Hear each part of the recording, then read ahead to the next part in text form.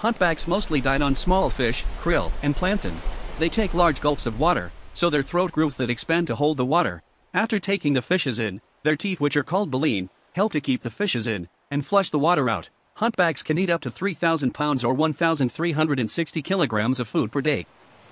Big fishes survive on really small fish. Subscribe for more interesting videos.